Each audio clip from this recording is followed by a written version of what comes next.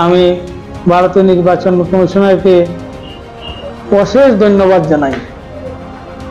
এই কারণে জানাই যে উনি যে ভগবান রাম এবং ভগবান কৃষ্ণের নামে আমাদের সমষ্টির নামাকরণটি করেছেন।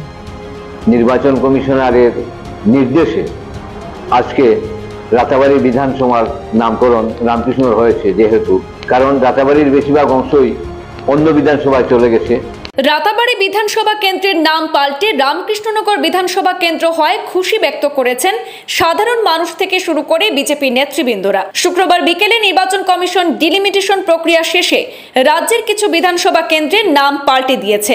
এর মধ্যে রাতাবাড়ি বিধানসভা কেন্দ্রের নাম বদল হয়ে রামকৃষ্ণনগর বিধানসভা কেন্দ্র হয়। বিষয়টি নিয়ে রামকৃষ্ণনগর মণ্ডল বিজেপির প্রতিক্রিয়া জানতে চাইলে নেতৃবৃন্দরা জানান রাতাবাড়ি জিপির বৃহৎ অংশ ডিলিমিটেশনের কারণে অন্য বিধানসভায় অন্তর্ভুক্ত হয় নাম পাল্টে হয়েছে রামকৃষ্ণনগর। এছাড়া বিধানসভা এলাকার মধ্যবর্তী স্থল হল রামকৃষ্ণনগর। আর এই এলাকার মানুষের দাবিও ছিল নির্বাচন কমিশন সবকিছুর বিচার বিশ্লেষণ করে এমন সিদ্ধান্ত নেওয়ায় এলাকাবাসী খুশি ব্যক্ত করেছেন। এছাড়া আরও কিছু বিষয় তুলে ধরেন শাসক দলের নেতারা। ভারতীয় নির্বাচন কমিশনারকে অশেষ ধন্যবাদ জানাই। এই কারণে জানাই যে উনি যে ভগবান রাম এবং ভগবান কৃষ্ণের নামে আমাদের সমষ্টির নামাকরণটি করেছেন। এবং তার সঙ্গে আমি ধন্যবাদ জানাই আমাদের মাননীয় মুখ্যমন্ত্রী মহোদয়, শ্রী হিমন্ত বিশ্ব শর্মা মহাশয়কে এবং আমাদের প্রান্তীয় বিধায়ক রামকৃষ্ণনগরের বর্তমান এই বিজয় মালাকার মহাশয়কে।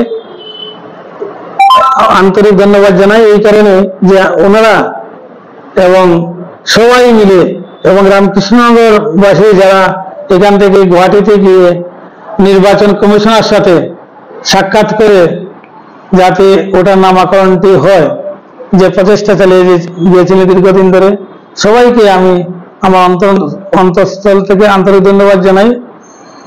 কারণ হলো আমাদের এই সমষ্টিটির নাম আজ রামকৃষ্ণনগর হয়ে গেল। আমরা ইলেকট্রনিক্স মিডিয়া এবং প্রিন্ট মিডিয়ার মাধ্যমে দুপুরবেলা দেখতে পেয়ে অত্যন্ত আনন্দিত এবং এখানে নিচে এই আনন্দ মুখর একটা পরিবেশও আপনার পরিলক্ষিত করেছেন কিনা জানি না। অল্প আগে বাজি ফটকা ফোটানো হয়েছে, মিষ্টি বিতরণ হয়েছে। আমাদের মন্ডলেও কিছু কার্যকর্তা দুপুর দিকে করে গিয়েছেন। কারণ হলো যেহেতু এই অমৃত মহোৎসবে স্বাধীনতার পঁচাত্তর বছর পরে আমরাও আজকে এই ভগবান রাম এবং কৃষ্ণের নামে আমাদের সমষ্টিটির নাম, নামাকরণ করার জন্য। আজকে রাতাবাড়ি বিধানসভার নামকরণ রামকৃষ্ণর হয়েছে যেহেতু, কারণ রাতাবাড়ির বেশিরভাগ অংশই অন্য বিধানসভায় চলে গেছে, তাই রামকৃষ্ণগড় কেন্দ্রিক যেহেতু আমাদের বর্তমান বিধানসভা, রামকৃষ্ণগড়কে কেন্দ্র করেই এই বিধানসভার পরিধি এবং রামকৃষ্ণ হচ্ছে এতদ অঞ্চলের প্রাণকেন্দ্র এখানে স্কুল, কলেজ, মেডিকেল কলেজ হচ্ছে আগামীতে, আপনারা জানেন। আর নিরালা ইঞ্জিনিয়ারিং কলেজ যখন আমাদের মধ্যে এসে গেছে, আমরা গর্বের সাথে বলতে পারি যে আমার মনে হয় এত বরাক উপত্যকার মধ্যেই এমন একটি বিধানসভা হবে রামকৃষ্ণগড়, যে রামকৃষ্ণ, যে বিধানসভার অধীনে ইঞ্জিনিয়ারিং কলেজ এবং মেডিকেল কলেজও হয়ে যাবে। তা সত্যি আমাদের কাছে একটা গৌরবের অধ্যায়, আমরা বলব। এবং এর জন্য আমরা নির্বাচন কমিশনার, আমাদের মাননীয় মুখ্যমন্ত্রী হিমন্ত বিশ্ব শর্মা আমাদের রাতাবাড়ির মাননীয় বিধায়ক বিজয় মালাকার এবং যারা গৌহাটিতে গিয়ে নির্বাচন কমিশনারের প্রতিনিধির সাথে যোগাযোগ করেছেন তাদের সাথে আলাপ আলোচনা করেছেন রামকৃষ্ণগড়ের নামকরণ করার জন্য তাদেরকেও আমরা রামকৃষ্ণগড় বিজেপি মন্ডলের পক্ষ থেকে ধন্যবাদ জানাই। আচ্ছা দুই হাজার পনেরো সালে রামকৃষ্ণ সাব ডিভিশন ঘোষণা হয়েছিল। হ্যাঁ। হ্যাঁ সেটি এখনও বাস্তবায়িত হয়নি। আপনাদের বিজেপি সরকার রামকৃষ্ণনগরকে রামকৃষ্ণের নাম নামকরণ করেছে রামকৃষ্ণনগর বিধানসভা কিন্তু সাব ডিভিশনের বিষয়ে আপনাদের কি দলের তরফে কিছু বলবেন? নিশ্চয়ই।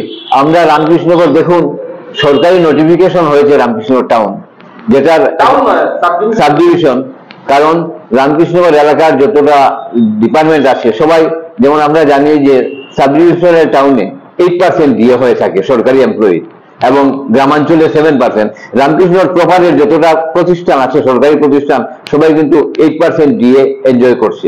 কাজেই সরকারি তরফে মধ্যে আপনার এসডিও অ্যাপয়েন্টমেন্ট হয়ে গিয়েছিল এবং আমরা জানি, আমরা নিশ্চিত আপনাদের কথা দিতে পারি যে এর মধ্যে নিশ্চয়ই এসডি অ্যাপয়েন্টমেন্ট হবে এবং অদূর ভবিষ্যতে এখানে কোর্ট হয়ে পূর্ণাঙ্গ সাব ডিভিশনের রূপ পাবে।